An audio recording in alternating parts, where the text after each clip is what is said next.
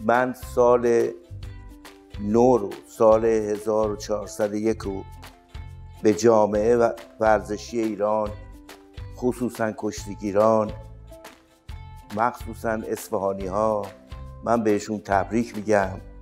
به تمام جامعه ورزشی سراسر سرزمین های باستانی ایران از تاجیکستان گرفته و افغانستان سمرقند و بخارا و قسمتی از ازبکستان ترکمنستان و آذربایجان و یروان و گرجستان و و شهرهای ترکیه این عید و تبریک و تهنیت میگم. امیدوارم که در سال جدید مسابقات ورزشی در پیشه و من از آقای دبیر خواهش می‌کنم که زیاد ورزش ما رو سیاسی نکنن.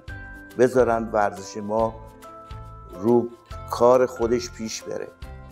تمنا می‌کنم به خاطر سیاست جلوی ورزش رو نگیرن.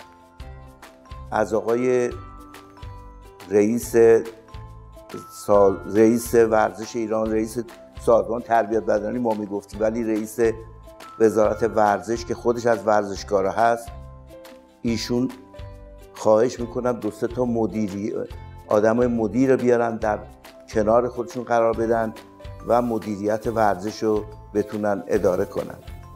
مسابقات ورزش که در پیشه ایشالا موفق بشن موفقیت براشون آرزو می‌کنن.